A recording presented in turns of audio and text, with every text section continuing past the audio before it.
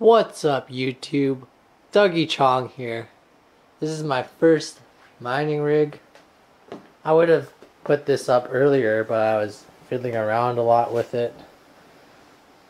Uh, it's got two monitors. Tell you the whole backstory of this rig. At first, I tried to make it with these GTX 1060s. First, I bought one and then two more to try out. And then before I even got the motherboard, they were all sold out or hard to get. So I only ended up getting five of those. Then I tried for these Asus 1060s. Managed to get three of them for about 280 each before the prices got ridiculous. These are all Canadian prices.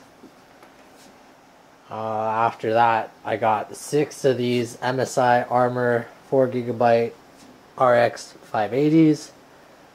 Again, they sold out, so I had to find four more on Newegg. Got these two sapphire ones and a power color one.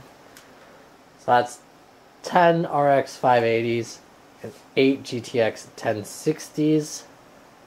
The 1060s are running on Ubuntu Linux.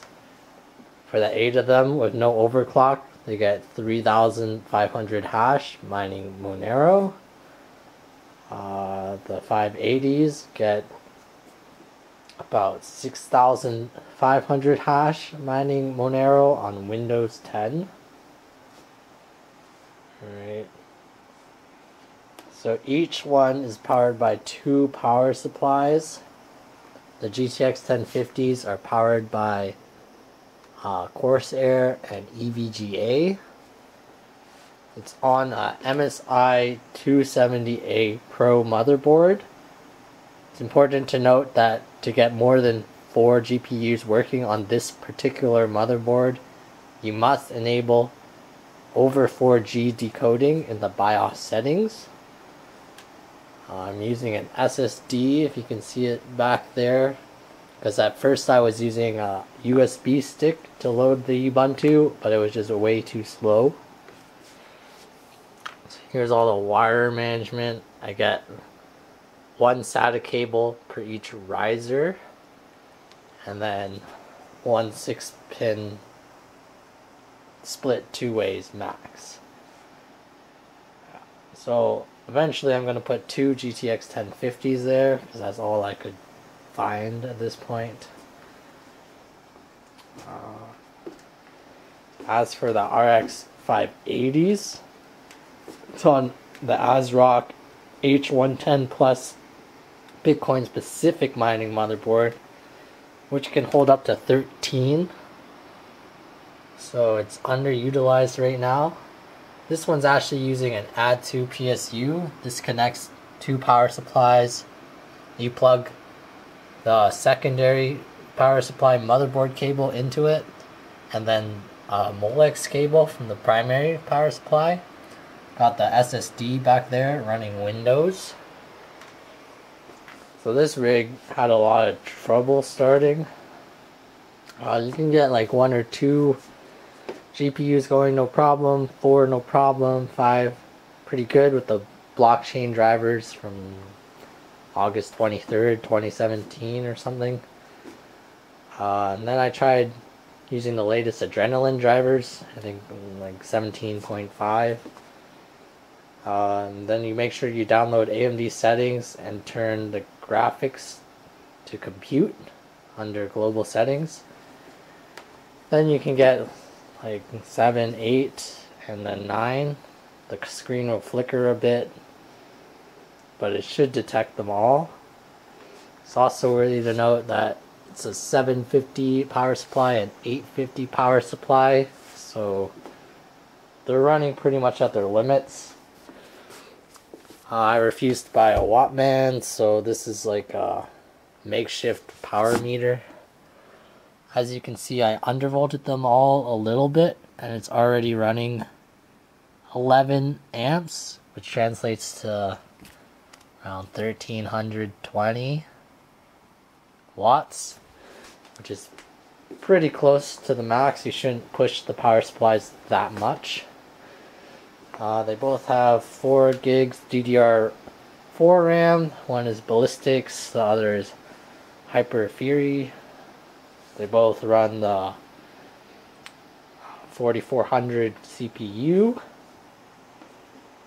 Uh, the monitor for this one is connected using VGA.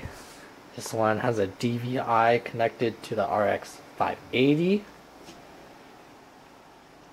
Yeah, they're both connected from Ethernet.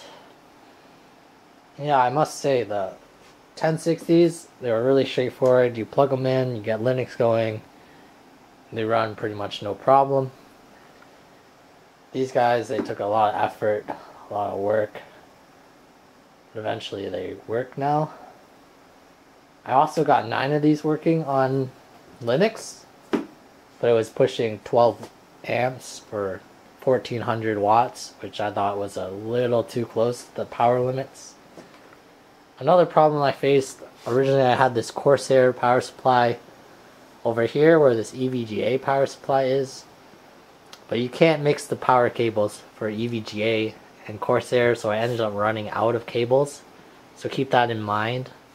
Maybe it's better to use the same brand power supplies.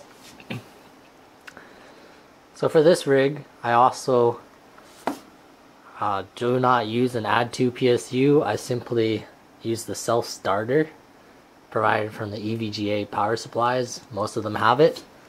So I just turn this one on first and then turn the other one on.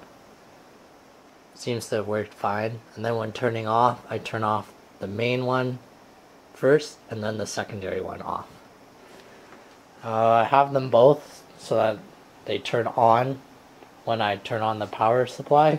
That's a BIOS setting. And yeah, that's about it. That's my first 18 GPU mining rig. Yeah. So originally I wanted all 1060s. This is what I ended up with. So I have a frame for a second rig. It's gonna go. It's got some improvements so I can put some on the edge here so you don't have wasted space like this one. Gonna put four Vega's Frontiers on it, which I've already been using and it's a pain. And then 12 GTX 5 1050s, which should be fairly straightforward. So two things I forgot to mention. I was able to get eight graphics cards on this motherboard with only six slots by using that splitter you see there. Cost about 20 bucks. Worked right away.